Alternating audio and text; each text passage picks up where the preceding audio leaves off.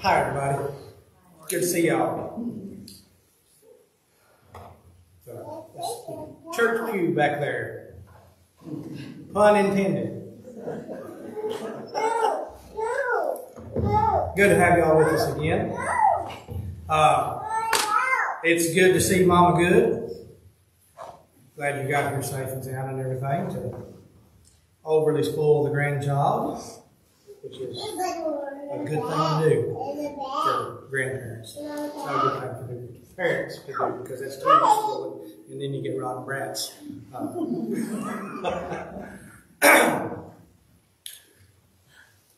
we are going to finish up Luke chapter 15.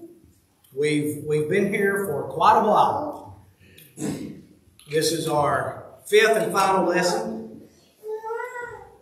We've been looking at the whole chapter, but primarily, most of our lessons have centered around what we call the parable of the prodigal son. In all four of our previous lessons, the Father has played a vital role. He's been there all the time. But today, in this fifth lesson, let's focus on Him Himself. We've talked about all of these parables about separation from God. God is there.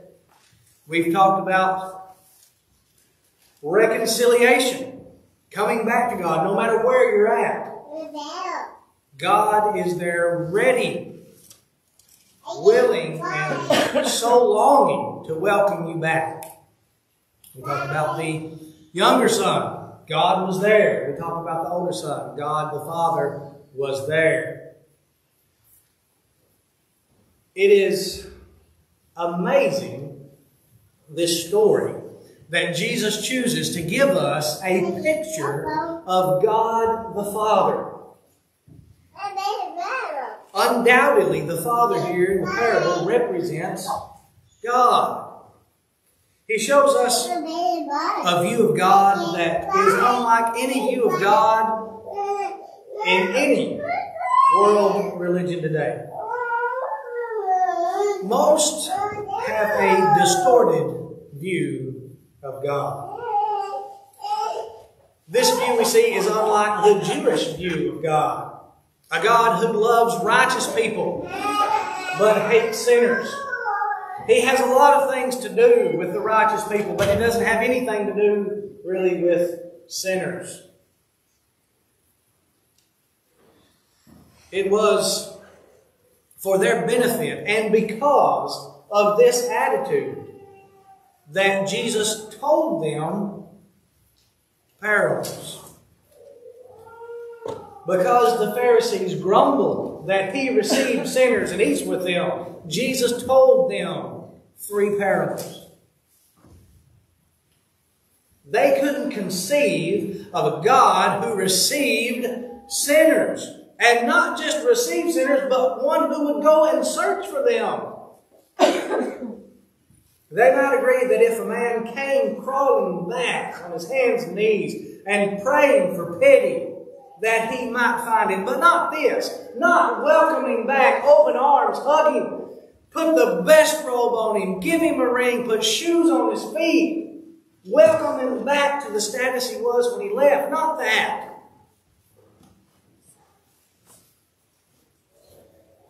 No Pharisee had ever dreamed of a God like that, who cared so much for sinners. One Jewish scholar, one great Jewish scholar, admitted that this was the one absolutely new thing that Jesus taught about God. This view of God is unlike the Muslim view of God. And their belief about uh, Jesus shows us their view of God. They believe that Jesus was a great prophet.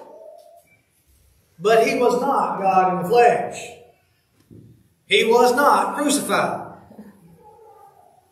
The incarnation and the cross have no place in their theology because they cannot see a God who would care that much to do such a thing. They can't conceive of a God taking on flesh and being humiliated and crucified for sinners.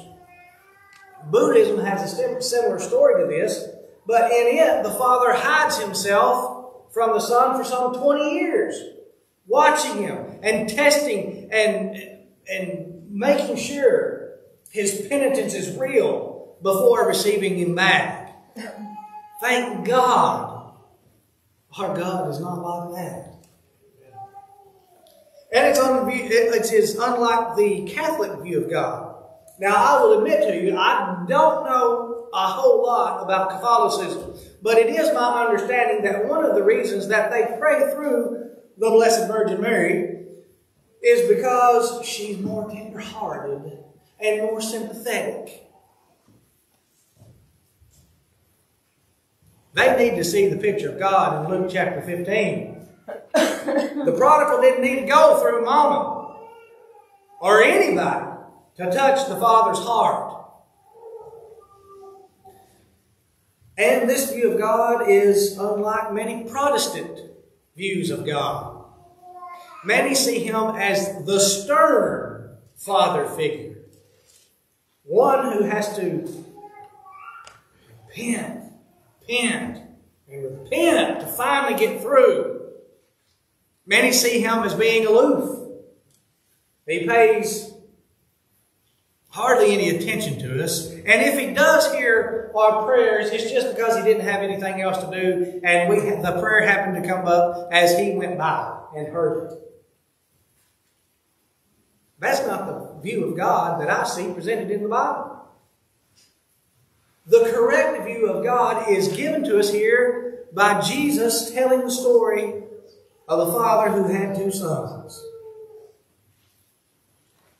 He shows us a God who cares.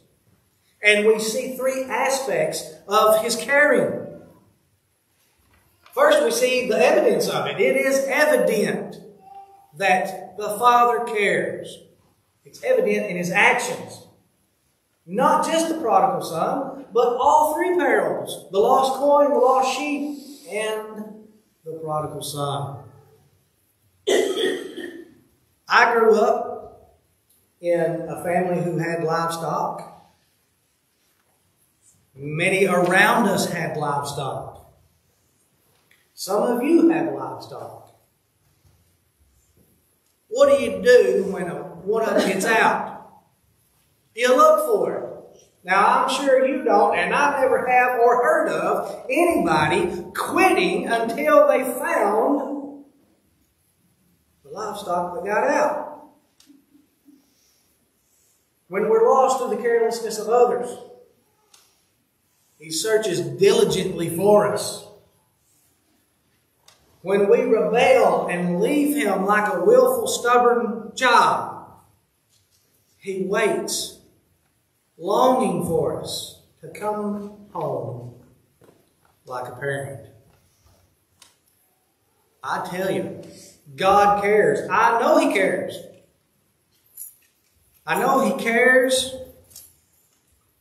for me. There are a lot of people that care for me. I'm thankful for it. Angels in heaven care for me. They rejoiced when I obeyed the gospel. My friends care for me. Friends back home, some of them I talk to weekly. Some of them it's a text or a Facebook message, new friends I'm meeting and gaining.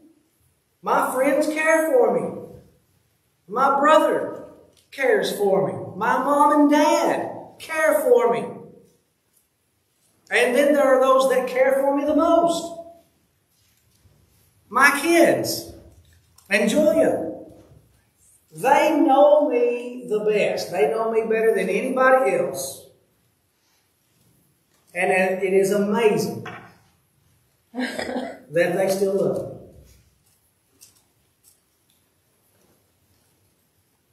But even as much as they love me, as much as they care for me, they don't love and care for me as much as God does. And He loves and cares for you and all of us the same way. He is no respecter of persons. We see here that another thing evident about God's caring is that it is universal. Now that's hard for some people to accept. It was hard for the Pharisees to accept. Uh, they didn't have no problem seeing how God could love them. I mean, they deserved it, right? But they couldn't see how God could love publicans and harlots, publicans and sinners. It's hard for us sometimes. We visit the old folks' homes and see these sweet, elderly, old men and women and it's easy to see how God could love them. Visit a prison. It'd be hard to see how God could keep from loving one group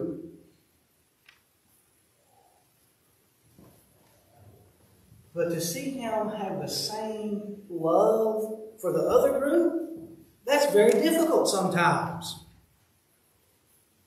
but it is true. He cared for all the sheep.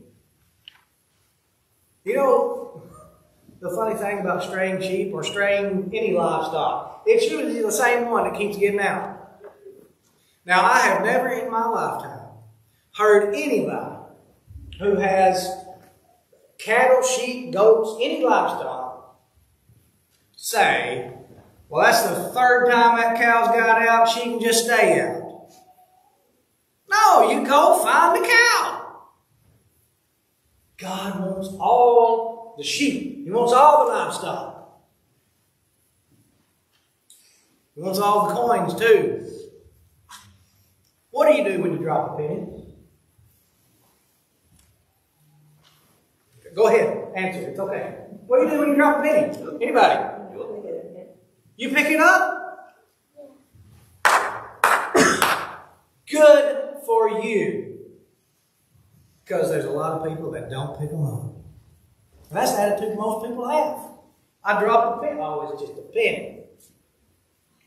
I'm going to waste my time picking up. It's just a penny. Thankful for you people who pick up pennies. Because that's what God does. He wants all the coins. Not just the silver. Not just the dollars, quarters, dimes, nickels. It's the pennies too.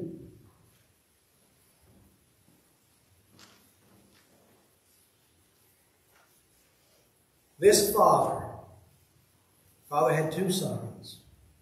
He loved both of them.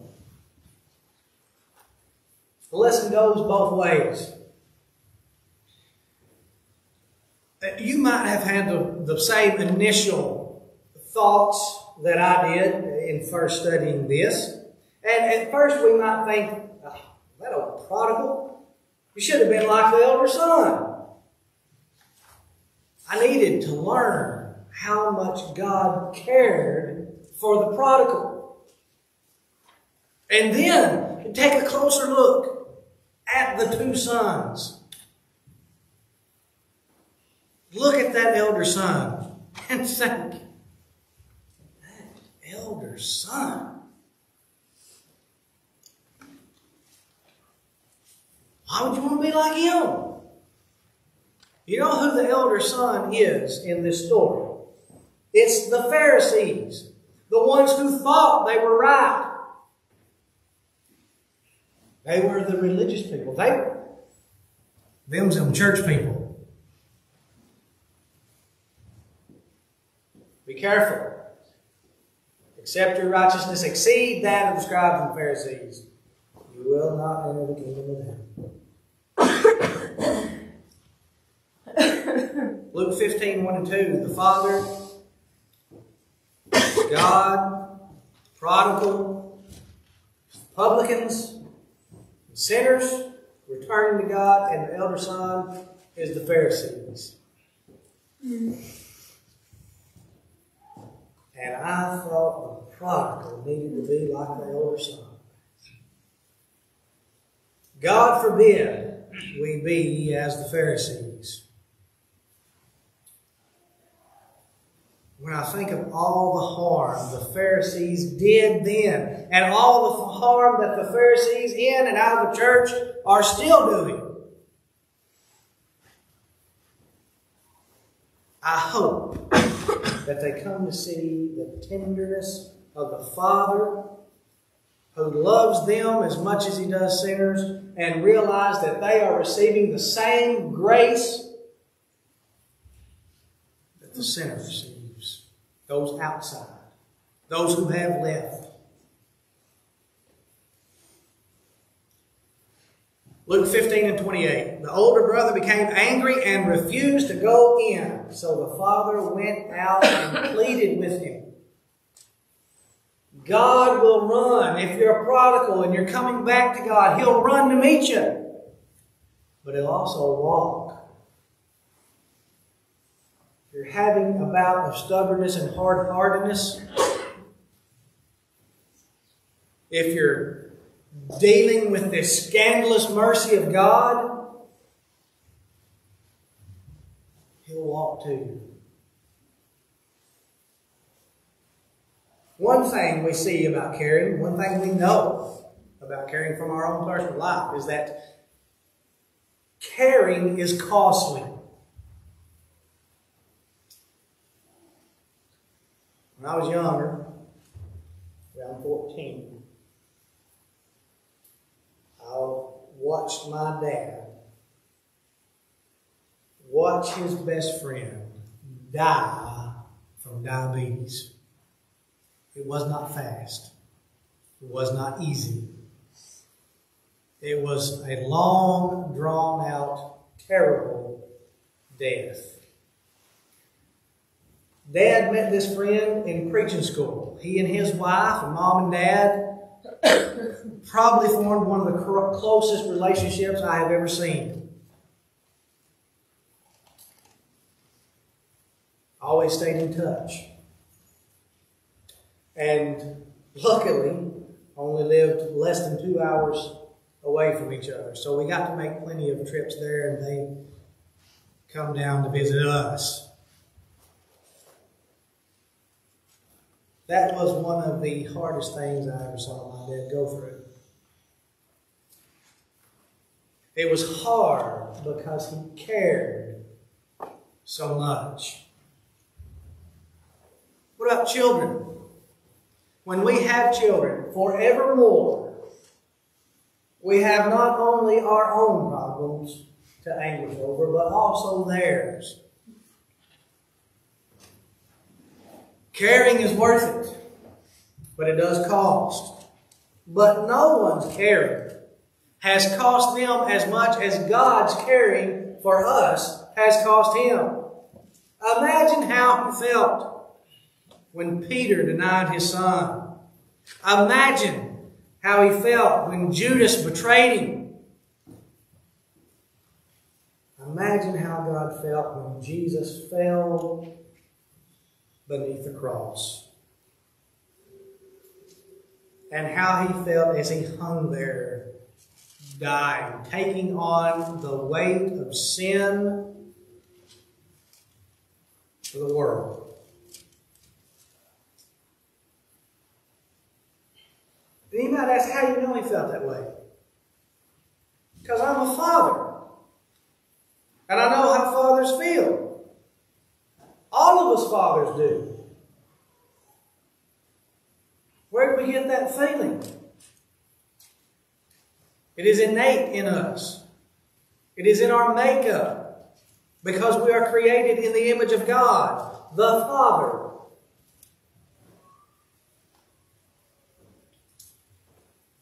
I feel sorry for God sometimes. And the question arises, is that appropriate? Is it appropriate to feel sorry for God? Have you ever read the story of the prodigal son and felt sorry for that father? Father had two sons. The younger one wanted his inheritance now, and it was given to him, and he left and was gone. for a long time and comes back in that shape. Boy, howdy. What the Father went through. And then he welcomes his son in, prepares a feast for him. And then he has to go deal with his older son, whom he loves just as much, but was over here pouting.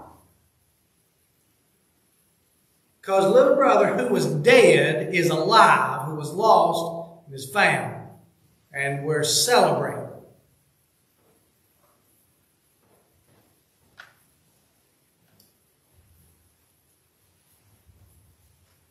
He was sad when the prodigal was gone. And then he returned, and, and the father was joyful. But the sorrow wasn't over. He had his elder son's attitude to hurt him. Oh, how we sometimes hurt God. You know what this rejoicing fatted calf party was? It's a family get together. You know what we're doing today? We're having a family get together. We hurt God by not attending family gatherings, the assemblies. They're very important to Him. They ought to be just as important to us. We hurt God by not studying His blood drenched book of salvation to hear how He cares for us, to know who He is, and what He would have us to do about it. By not talking to Him. Fathers, you know how it feels not to talk to your children for an extended period of time? God feels the same way. How do we talk to God? We talk to God through prayer. That is conversation with our Father. And it hurts Him when we don't do that. Though His ear is always open to us. You remember that old song by Gene Autry? That silver-haired daddy of mine? If I could recall all the heart, all the heartaches Dear old daddy, I've caused you to bear. If I could erase those lines from your face and bring back the gold to your hair.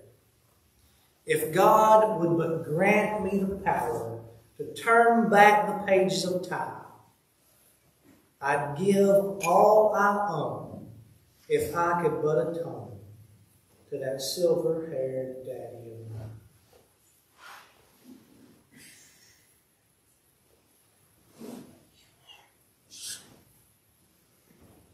Don't let it be too late to atone to your Father. We can somewhat atone, uh, make up for the sorrow that we have caused God. And we can replace it with joy by repenting. There is joy in heaven over one sinner who repents. The 99 just persons who need no repentance. It's not that he's not joyful about the 99. They don't need a party.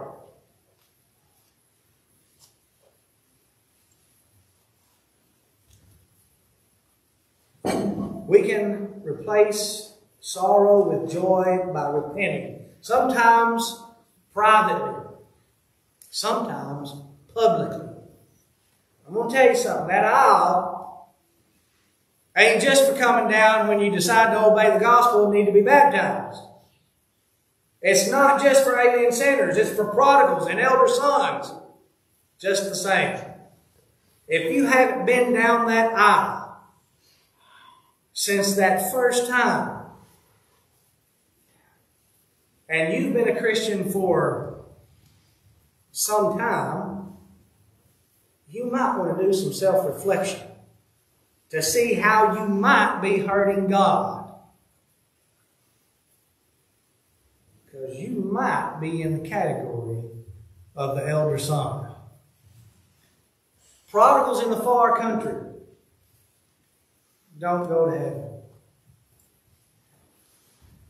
elder sons at home in that condition don't go to heaven. Don't be either one of them. God the Father loves both prodigals and elder sons. And the one place they come together is in the Father, in the family. To be part of the family again, the prodigal son had to get out of the foreign country and come back to the Father. And he ran to meet him. To get back in the family, the elder son had to change some things too. He had to change his attitude and he had to change his thoughts. He had to quit harboring grudges against the rejoicing of receiving back the prodigal son. He had to come back in the house. And God walked out to him to get him to do that very thing. You know, most of the time we look at these prodigals, or we look at these parables negatively. The lost sheep, the lost coin, the prodigal son. But look at it more positively. Look at how the Father cares. Look what He does for us when we are lost.